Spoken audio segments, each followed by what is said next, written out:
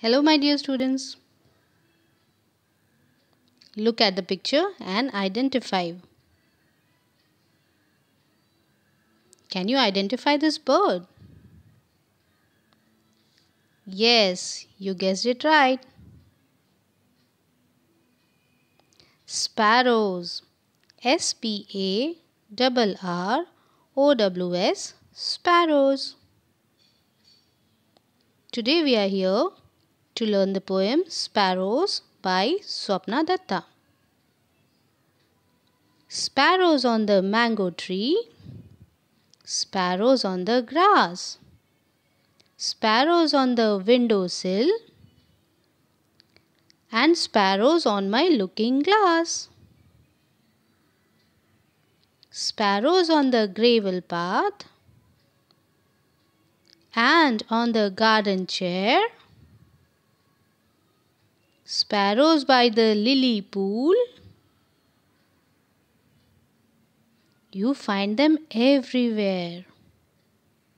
Let's do it once again, children. Sparrows. Sparrows on the mango tree. Sparrows on the grass. Sparrows on the window sill. And sparrows on my looking glass. Now here the poet wants to tell us that he can see sparrows on the mango tree, on the grass, also sitting on the windowsill and the sparrows are also on his looking glass. Sparrows on the gravel path and on the garden chair. Sparrows by the lily pool you find them everywhere.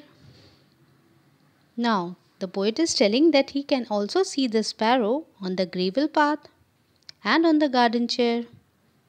The sparrows are also sitting by the lily pool. He can find sparrows everywhere.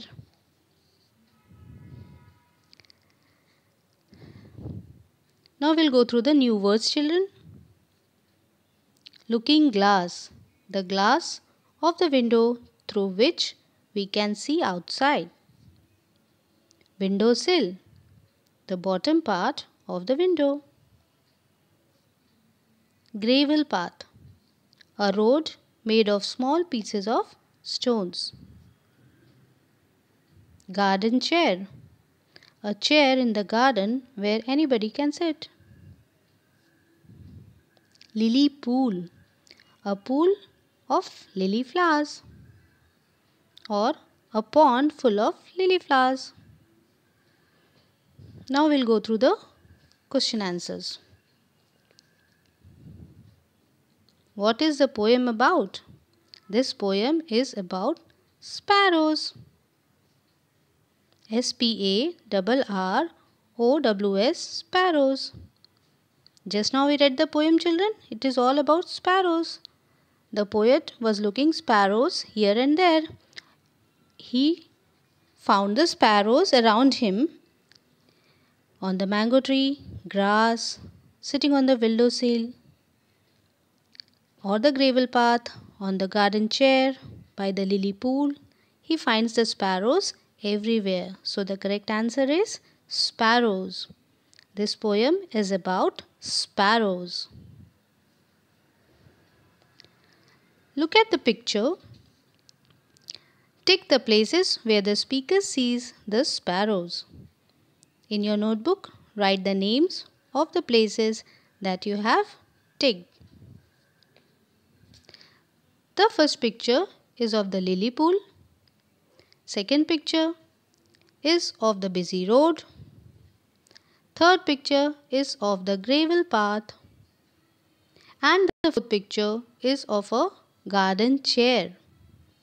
Among these four pictures, busy road is not there in the poem Sparrows. So, we will not take it. We will take the pictures of lily pool, gravel path and a garden chair. And also, you will write these three words in your notebook. Look at this one. Pick out words from the poem that sounds the same as these words. Bath. Now, a word with a similar sound in the poem is path. Bath, path. Free. A word with a similar sound in the poem is tree. Free, tree. Hair. A word with a similar sound in this poem is chair. Hair, chair. Cool.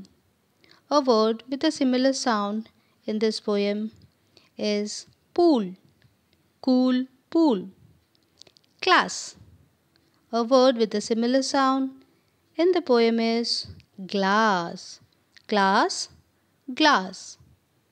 Isn't the sound same? Let's read again. Bath, path. Free, tree. Hair, chair. Cool, pool. Class, glass.